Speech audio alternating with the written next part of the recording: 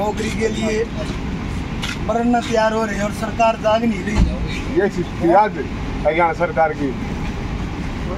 जो ये होगा भाई साहब में खिलाड़ी आदमी ये हालात हो रही है।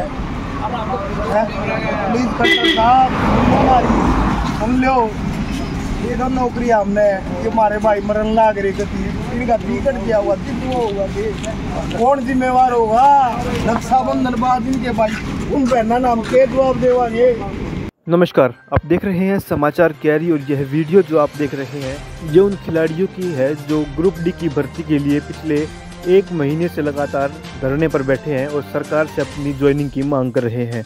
इस वीडियो में हर एक आँसू उन गरीब परिवार का है जिसके लिए खट्टर साहब ने और सरकार में बैठे अधिकारी अशोक खेमका ने 25 पाँच 2018 को एक खेल नीति बनाई थी। बावजूद उसके उस खेल नीति का इन पर कोई फ़ायदा नहीं हुआ। इनकी किस्मत को दोष दे कि 2018 में जो 18,218 भर्ती निकाली गई थी उसमें खेल कोटा डी ग्रुप की 1518 सीटें थी।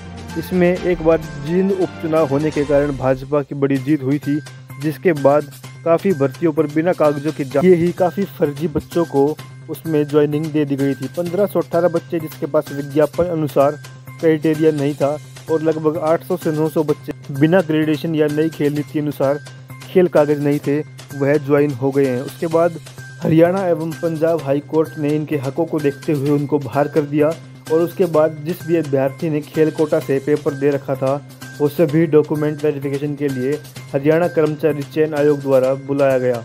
फरवरी 2022 में, लेकिन सरकार के अधिकारी इनको मुख्य सूची में न मानकर वेटिंग लिस्ट का रूल थोप रहे थे। मुख्यमंत्री के प्रधान सचिव डी एस ढेसी ने सीएम नोट लगाकर क्लियर कर दिया था कि वे मुख्य सूची के बच्चों, बच्चे हैं और 2019 तक उन्हें ज्वाइनिंग मिलनी थी। लेकिन एच की गलती के कारण आज ये आमरण अनशन करने को मजबूर हो गए और वीडियो के माध्यम से आप देख रहे हैं आमरण अनशन पर ये बैठे स्पोर्ट्स के खिलाड़ी जो लगातार पिछले कई दिनों से सरकार से गुहार लगा रहे हैं कि 2018 में जो भर्तियाँ निकली थी हमें उसमें ज्वाइनिंग दे दो। लेकिन सरकार के कानों पर दूर तक नहीं रेंग रही। पिछले लगातार एक महीने से बैठे ही है स्पोर्ट्स के खिलाड़ी जो अब बीमार होने लगे हैं, बेहोश होने लगे हैं और लगातार इन्हें एंबुलेंस की ज़रूरत पड़ती है। वीडियो में आप देख रहे हैं किस तरह से आमरण अनशन पर बैठे यह खिलाड़ी बेहोश हो गए हैं और अब इन्हें उठाकर एंबुलेंस में डाला जा रहा है ताकि इनका बेहतर उपचार किया जा सके। वीडियो के माध्यम से आप देख रहे हैं, लगातार सरकार से गुहार लगा रहे हैं, अपनी मांगों को लेकर पिछले एक महीने से आमरण अनशन पर बैठे हैं और ये भर्तियाँ जो है 2018 में निकली थी। 2018 से लेकर 2023 तक का समय हो चुका है, लेकिन अब तक इनको इनकी ज्वाइनिंग नहीं मिली है, इनको इनका हक नहीं मिला है। इस वीडियो को देखकर आपकी क्या विचार हैं? आपके मन में क्या है? कमेंट बॉक्स में अवश्य बताएँ। क्या 2024 नज़दीक है? क्या अभी इन्हें इनका जो हक है, वो मिलने की संभावनाएँ हैं? या पिछले एक महीने से जिस तरह से आंदोलन पर बैठे हैं, इसी तरह से कब तक इन्हें यहाँ बैठना पड़ेगा? कमेंट बॉक्स में अपनी राय अवश्य दें।